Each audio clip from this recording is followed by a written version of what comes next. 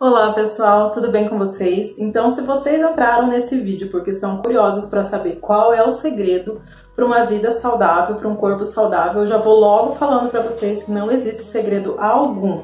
O que existe sim são dois pilares que são bem conhecidos por todos nós, porém muito poucos colocam em prática. E o que seriam esses dois pilares? Alimentação saudável e exercício físico. Pois é, eu sei que todos vocês já ouviram falar. O que eu quero com esse vídeo é contar um pouquinho da minha experiência em relação a isso. É, eu pratico exercício físico desde 2014. Em 2015, é, além da musculação e crossfit que eu já fazia, eu comecei a fazer corrida de rua. Então fazem mais ou menos seis anos aí que os exercícios físicos é, fazem parte da minha rotina. Eu já conheço muito bem na teoria né, sobre a alimentação muitas vezes eu não coloco em prática na minha vida e eu deixo de alcançar os resultados que eu poderia alcançar. O que eu gostaria de deixar bem claro também é em relação à nossa prioridade. Qual deve ser a nossa prioridade em relação à alimentação e aos exercícios físicos? É a nossa saúde, né? É o nosso bem-estar físico, né? É a nossa saúde. Isso é muito importante. É, a estética é algo que ela vai vir com consequência, né? A consequência de uma boa alimentação e da nossa rotina diária de exercícios. Então, é, esse é o foco desse vídeo hoje. É, eu não sou especialista, pessoal, eu não sou médica, eu não sou nutricionista, eu não sou formada em educação física, eu tô falando aqui para vocês as minhas experiências em relação a isso. Mas acho que não precisa ser nenhum médico, nenhum né, estudioso do assunto aí, formado e nada, para saber que os exercícios físicos aliado a uma boa alimentação vai nos trazer muitos benefícios, não é mesmo? O exercício físico ele não deve ser encarado só como vaidade ou como estética, né? Quem pensa assim precisa realmente tentar mudar um pouco o seu conceito em relação a isso, porque com certeza vai trazer muitos benefícios para sua vida. E não, pessoal, nem sempre eu gostei de praticar atividade física. Antes disso, é, eu fazia assim quando eu era ainda é, adolescente, na escola, é, e alguns anos depois também o que eu praticava era jogar vôlei, eu gostava muito de jogar vôlei. É, às vezes, não, acho que duas vezes eu tive é, esteira elétrica em casa, então de vez em quando fazia as minhas caminhadas, mas com o tempo as esteiras lá acabavam virando cabide, né? Eu colocava roupa, pendurava a roupa e deixava lá pegando pó. Eu tenho certeza que muitos de vocês aqui vão é, se identificar com isso. E começou com a necessidade que eu tive é, realmente de perder peso, de me sentir melhor comigo mesma, da nossa autoestima, né, nós mulheres, é, principalmente depois que nós temos filhos, né, que nós é, ganhamos aquele peso todo e muitas vezes ganhamos nosso bebê e os quilos ficam todos ali, então em 2014, quando a Júlia, né, minha filha mais nova, já estava com dois anos, eu comecei a praticar atividade física e isso virou uma rotina na minha vida, virou algo que realmente eu gosto de fazer. Então, assim, é possível sim a gente mudar nosso pensamento, mas a gente tem que criar esse hábito. Nos sacrificar muitas vezes no início para que isso vire algo bom para nós, para que a gente comece a enxergar os resultados que aquilo está trazendo mas em relação à alimentação, é, aqui vocês podem acompanhar no canal, a gente sempre está postando coisas gostosas aí, guloseimas. Eu quero que vocês entendam também, gente, que o propósito aqui não é fazer nada radical. Eu sou totalmente contra essas dietas radicais, também porque eu já fui adepta de algumas delas. E eu falo para vocês que assim, se alguém aí que estiver assistindo esse vídeo é, conseguiu ficar numa dieta super restritiva por muito tempo e isso virou hábito, você conseguiu perder peso e não voltou a engordar, por favor, me conte qual foi o seu segredo.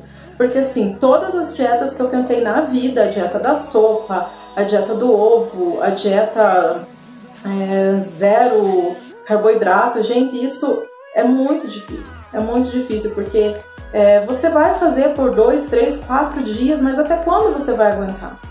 E vai chegar uma hora que você vai parar e você vai ganhar todo o seu peso novamente. Em relação à alimentação, é, eu falo para vocês que eu conheço muito bem na teoria como funciona, porque eu leio muito, eu estudo muito sobre é, essas coisas, né, sobre alimentação saudável.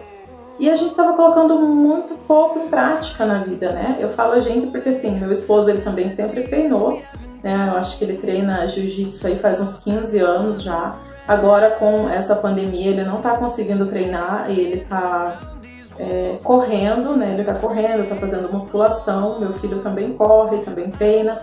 Então, assim, a nossa família, até mesmo a Júlia, que é pequenininha, muitas vezes ela me acompanha nos treinos, né? Quando eu faço os treinos aqui em casa. E então, assim, eu procuro é, envolver toda a família e todos eles têm essa consciência que a gente precisa, né? Para ter nossa, nosso corpo saudável, uma vida saudável, a gente precisa se exercitar. E a alimentação tem que estar junto, porque senão não vai funcionar. E o que eu venho, o que eu venho trazer para vocês é bem relacionado a isso. É, eu adquiri há pouco tempo um livro de receitas low carb e também é, receitas é, sem glúten. Essas receitinhas, gente, elas prometem assim que você vai é, se alimentar de uma forma mais saudável mas que você vai ter o prazer de comer. Porque, gente, eu não sei vocês, mas o prazer da minha vida é comer. Né? Eu adoro quando chega final de semana, ali sábado, e você pede aquela pizza lá, quatro queijo e aqueles lanches gostosos, maravilhosos. Então, um dos prazeres da vida realmente é comer. E se você não tenta equilibrar, né, o que você come e os exercícios físicos que você faz para perder essas calorias, você não vai conseguir manter isso por muito tempo, né? Por isso que eu falo das dietas restritivas, né? Então, é, eu adquiri essas receitas, né, esse livro de receitas, e eu vou começar a postar aqui no canal, ao menos eu vou tentar, né, eu prometo para vocês que eu vou me esforçar bastante para trazer essas receitinhas uma vez por semana, e vão ser receitas que eu vou testar, e eu só vou trazer realmente para vocês, postar no canal, o que realmente eu falo assim, não, realmente além de ser saudável, é gostoso. Lembrando, gente, que assim, é, eu tô falando aqui muito do equilíbrio, eu quero que vocês entendam que é um equilíbrio. É, vai ter o dia que a gente quer comer uma besteirinha, vai. Não tem problema algum, a gente não é de ferro, a gente gosta dessas coisas. Mas a gente tem que entender qual é o equilíbrio, o que, que eu vou fazer no outro dia para queimar essas calorias a mais? Ou qual vai ser a minha alimentação durante a semana? Só me esquecendo que eu estava falando em relação a dietas, né? Eu quero só compartilhar com vocês algo rapidinho, mas se alguém se interessar pelo assunto e quiser que eu fale mais, que eu entre mais nesse assunto, eu faço isso no próximo vídeo. É só para falar para vocês que teve um ano, se eu não me engano, foi no de 2011 para 2012. Eu cheguei a pesar quase 80 quilos, eu tenho 1,60m de altura. Então, assim, foi o ápice do meu peso, né? É, realmente eu tomei um baita de um susto quando eu me pesei. E eu fiz uma dieta que realmente foi a dieta que funcionou para mim e eu perdi quase 10 quilos em dois meses e meio. Então, se alguém tiver interesse que eu fale aqui né, é, no canal, sobre essa dieta, qual foi a dieta e como que é, eu consegui perder esse peso todo. Então deixa aí nos comentários que eu trago no próximo vídeo. Bom, então é isso pessoal, eu espero que vocês tenham gostado. E se gostaram, já se inscrevam no nosso canal. Se ficaram na dúvida, se inscrevam do mesmo jeito, porque é de graça. E nós nos vemos nos próximos vídeos. Tchau!